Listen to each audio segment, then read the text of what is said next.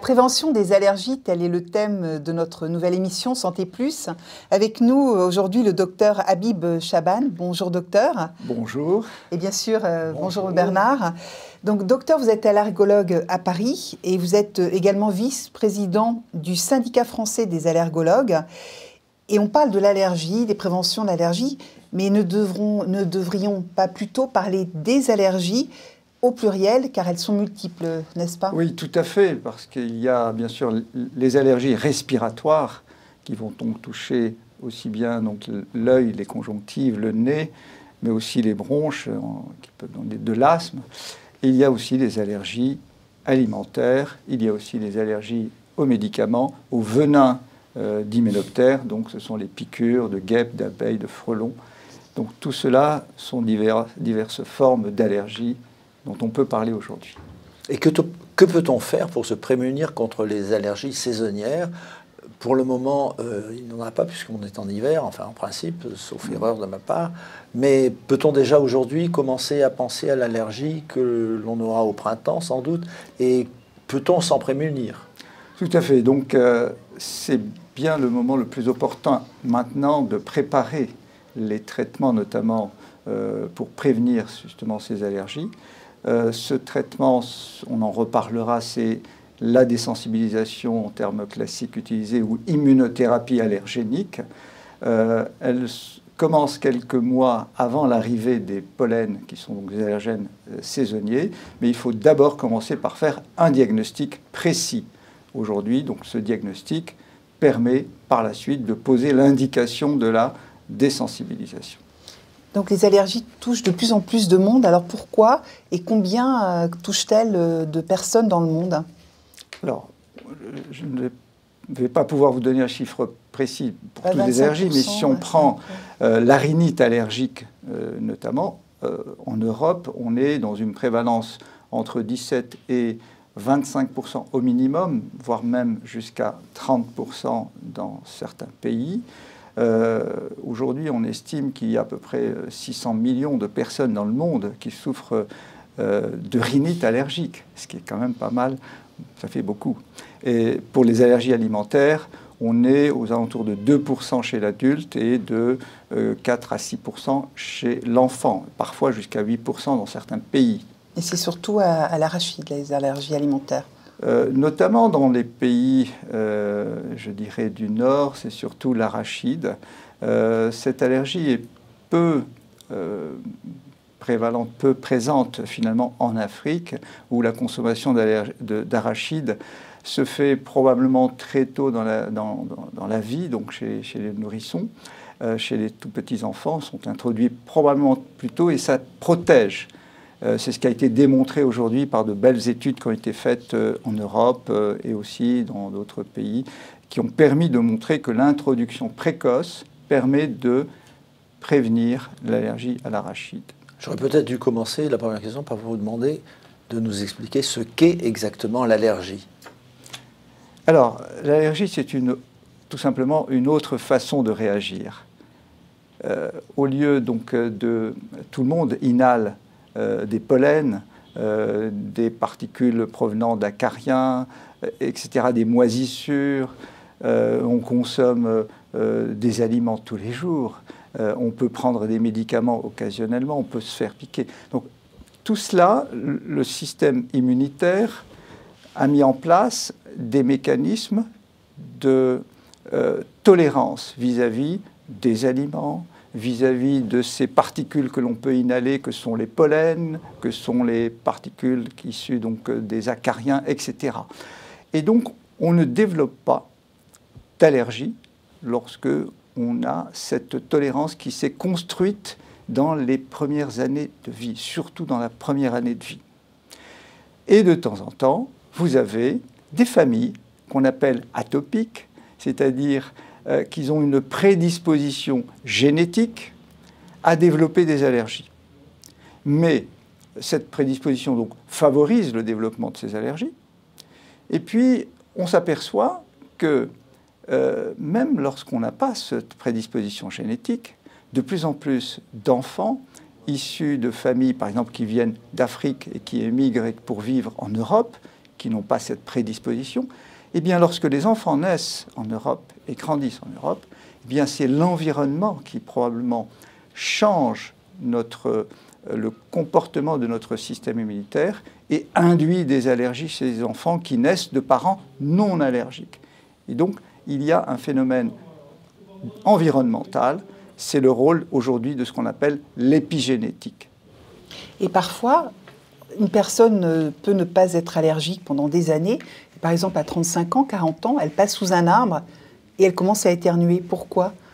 Alors, euh, il y a euh, l'exposition euh, à tous les, aux allergènes qu'on peut avoir tout au long d'une vie. Et aujourd'hui, on s'intéresse à ce qu'on appelle l'exposome, c'est-à-dire toutes les substances, qu'elles soient allergisantes ou irritantes, nocives, qui peuvent favoriser l'allergie. On le sait aujourd'hui, les fumées de tabac, les particules de diesel, euh, certains perturbateurs de l'immunité, qu'ils soient dans les aliments ou dans l'air, etc., sont des facteurs prédisposants à faire de l'allergie. Et donc, pour faire de l'allergie un jour, il faut avoir déjà été sensibilisé il faut une première phase de sensibilisation de l'organisme qui va fabriquer les euh, éléments qui permettent de, faire réagir, donc de donner les symptômes d'allergie. Et puis il faut un contact un jour. Euh, parmi donc ces éléments qui permettent de déclencher, c'est l'exposition à une quantité importante avec des facteurs favorisants et qui vont permettre de développer.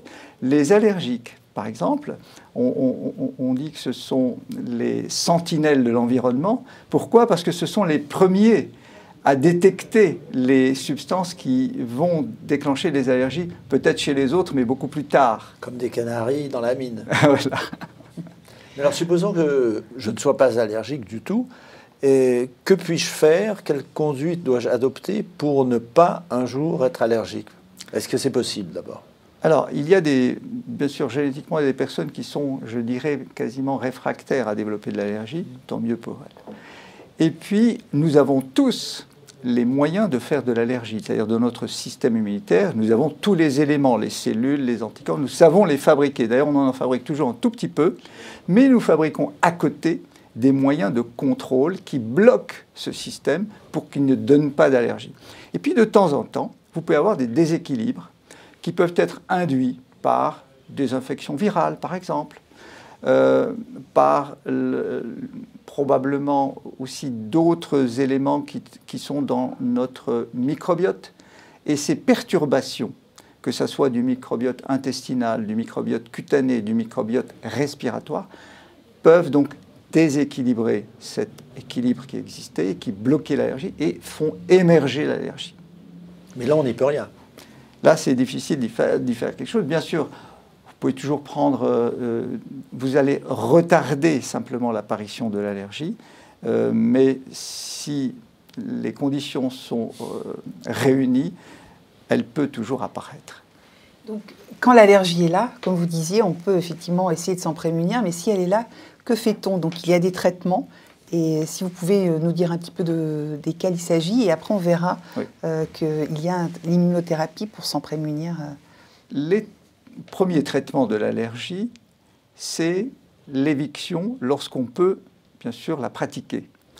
elle est faisable, bien qu'elle a ses limites, vis-à-vis, par exemple, de l'allergie aux acariens. Les acariens sont des petites bêtes microscopiques de la famille des araignées qui vivent dans notre literie on peut s'en prémunir euh, en changeant régulièrement les draps, en ouvrant les fenêtres tous les jours, en euh, passant l'aspirateur, en nettoyant avec simplement un, chiffon euh, humide, etc. Tout ça, c'est de la prévention de l'allergie aux acariens. Elle peut diminuer les symptômes, parfois être suffisante, mais parfois non. Si vous êtes allergique au pollen, c'est difficile de vous prévenir de l'allergie au pollen parce que vous ne pouvez pas vous isoler. Il y a des pollens partout quand la saison arrive. Autrefois, pour anecdote, euh, on disait aux personnes qui avaient les moyens, euh, au, au 18e, 19e siècle, on disait allez en croisière. Parce que quand vous êtes en mer, vous n'avez plus de pollen, donc vous étiez tranquille. Mais aujourd'hui, quand vous vivez dans une ville ou dans une agglomération quelle qu'elle soit, même à la campagne, quand les pollens arrivent, vous ne pouvez rien faire. C'est la même chose. Donc, alors, pour euh, les animaux, on peut dire, ben voilà, on peut éventuellement euh, éviter le contact avec les animaux. contre, voilà, le chat, le chien ou d'autres. Par contre, lorsqu'on n'y arrive pas pour des raisons affectives, psychologiques, on ne peut pas se séparer de son chat, de son chien, qu'est-ce qu'il faut faire? Eh bien, on peut proposer des traitements de désensibilisation dans ce cas-là. C'est la même chose pour les pollens, c'est la même chose pour les acariens, etc. Et justement, je vous propose, euh, ça s'appelle la désensibilisation, c'est l'immunothérapie, et je vous propose de, de, retrouver euh, Nicolas Dufour, qui est le directeur général France d'ALK, et qui nous explique en quoi consistent euh, ces traitements. Alors ALK est un laboratoire danois, présent en France et dans de nombreux pays à l'international, qui est spécialisé dans le diagnostic et la prise en charge des allergies respiratoires sévères. Donc elle met à disposition des allergologues des, tests diagnostiques, ça s'appelle le PRIC test, et puis aussi donc, des traitements d'immunothérapie allergénique pour traiter la cause de l'allergie. Ce ne sont pas des traitements symptomatiques, ce sont des traitements qui vont s'adresser à la cause euh, de l'allergie respiratoire euh, euh, des, des, patients. la problématique actuelle des patients allergiques sévères est le délai pour avoir un diagnostic allergologique précis. Aujourd'hui, en moyenne, c'est 7 ans. 7 ans d'errance thérapeutique avant de rencontrer un allergologue. Donc la prise en charge doit se faire le plus tôt possible, c'est-à-dire chez l'enfant, pour arriver à diagnostiquer euh, une allergie et donc empêcher l'évolution de cette allergie vers un asthme allergique. Comment ça marche, euh, ces traitements de désensibilisation, d'immunothérapie pour se prémunir justement quand l'allergie est là? Alors, on parle d'immunothérapie allergénique aujourd'hui, puisque l'immunothérapie est utilisée dans beaucoup d'autres spécialités. Euh, c'est un moyen thérapeutique qui a été mis en place euh, euh, dès 2011 par deux chercheurs américains, allergologues, Noon et Freeman, et qui ont montré que si on administrait par voie sous-cutanée à l'époque des extraits de pollen de graminées à des patients qui souffraient de rhume des foins, donc d'allergie au pollen de graminées, eh bien, ça allait non seulement les améliorer, mais ça les protégeait dans les années qui venaient et ils ne développaient plus de symptômes. Et à partir de là, donc, c'est développé cette technique qui consistait donc à préparer un extrait auquel le patient était allergique et de lui injecter, mais avec des quantités au départ croissantes, jusqu'à obtenir la dose maximum tolérée. Et euh, on maintenait ce traitement pendant plusieurs années et cela permettait non seulement de réduire la consommation des, des médicaments symptomatiques, mais aussi de protéger le patient lorsqu'il terminait son, traitement après 3 à 5 ans de, de, traitement, et donc le protéger plus tard, et voire le débarrasser à vie de l'allergie.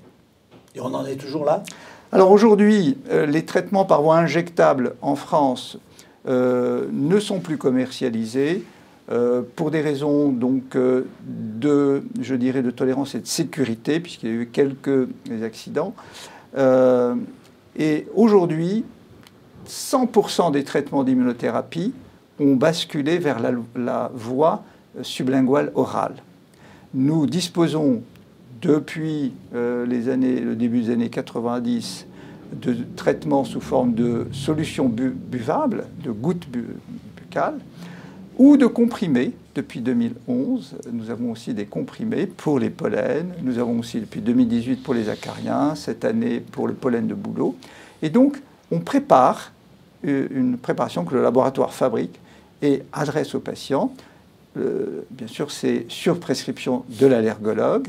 L'allergologue explique aux patients comment prendre ces traitements et on doit donc les faire avant, pour les pollens, avant l'arrivée des pollens. Mm. On fait maintenant même des traitements courts, pré- et co-saisonniers, c'est-à-dire ah quelques mois avant et pendant la saison. Pour les acariens, pour le chat, pour les moisissures, on fait souvent donc des traitements pérannuels, toute l'année. La durée du traitement est de 3 à 5 ans et c'est indiqué à partir de l'âge de 5 ans on peut commencer à traiter donc, euh, les patients avec les solutions buccales. Pour les comprimés, certains donc, euh, ne commencent qu'à partir de 12 ans parce qu'ils n'ont pas encore l'autorisation chez l'enfant. Sachant que, effectivement, avant, vous faites des tests. Hein. Bien entendu, un diagnostic précis. Aujourd'hui, le diagnostic repose sur la pratique des tests cutanés que l'on fait avec des extraits allergéniques qui sont préparés par le laboratoire ALK et d'autres laboratoires. Euh, on dépose les gouttes sur l'avant-bras du patient ou sur le dos chez les enfants et on pique avec une petite pointe, on attend 15-20 euh, minutes, on regarde les réactions positives. Ensuite, si besoin, on peut demander des dosages d'IgE spécifiques. C'est un test sanguin qui permet d'aller au-delà. Grâce aujourd'hui à des allergènes moléculaires, on permet de, de savoir si le patient est réellement sensibilisé à tel ou tel allergène, ce qui permet aujourd'hui de traiter les patients que l'on considérait autrefois polysensibilisés et euh, avec lesquels nous avons un peu de mal, euh, ou avec lesquels on faisait beaucoup de mélanges. Aujourd'hui, on fait de moins en moins de mélanges d'allergènes et on, on, va traiter le patient uniquement avec les euh, allergènes auxquels il est sensibilisé et dont il a besoin. Donc le traitement est devenu beaucoup plus spécifique qu'autrefois. Justement, en Afrique, les, vous disiez tout à l'heure, les allergies ne sont pas les mêmes. Quelles sont-elles? Et comment euh, savoir euh, à quoi on est allergique si on n'a pas accès à un allergologue euh, comme dans votre cabinet, comme vous? Oui. Alors, en Afrique, un peu comme partout dans le monde, l'allergie aux acariens représente grosso modo la moitié des allergies que l'on voit. C'est énorme. Euh, il y a aussi les, allergènes, euh, les allergies pardon, au pollen de graminées qui sont ubiquitaires. Les pollens de graminées, vous en trouvez du pôle sud au pôle nord, il y en a partout. Et donc ça, ce sont les deux principales allergies. Après, vous pouvez avoir localement des allergènes euh, plus particuliers qui peuvent être soit des arbres, soit des moisissures particulières, soit des poils ou squames d'animaux selon euh, ce que, voilà, euh, dans les pays nordiques par exemple, on, parle d'Afrique aujourd'hui, mais les pays nordiques, euh, les gens ont beaucoup de, chats par exemple. et une des premières allergies, c'est souvent l'allergie aux chats, qui est très prévalente par rapport à, aux pays qui sont plus au sud. et puis, il y a le confinement. en Afrique, d'autres allergies dont il faut parler aussi, c'est l'allergie notamment aux blattes. Les blattes, ce sont les cafards euh, qui peuvent proliférer dans les habitations collectives. Et aujourd'hui, on ne fait pas très attention à cela parce qu'on construit de plus en plus d'habitats collectifs, verticales. Et ça, ça facilite la contamination par euh, ces euh, parasites.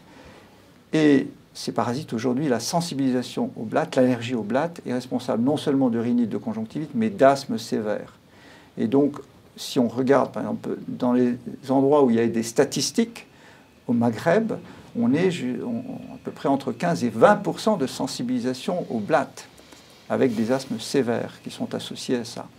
Dans les pays euh, qui sont euh, humides et chauds, on a un, acarien particulier, c'est le Blomia tropicalis, donc euh, l'acarien des tropiques, et cet acarien vit dans les maisons, dans les, bien sûr comme tous les autres acariens, dans la literie, est responsable également de rhinite, euh, conjonctivite et d'asthme également. Euh, les moisissures peuvent poser aussi des problèmes, puisque de plus en plus, avec les problèmes de changement climatique, on a des intempéries, on a des inondations.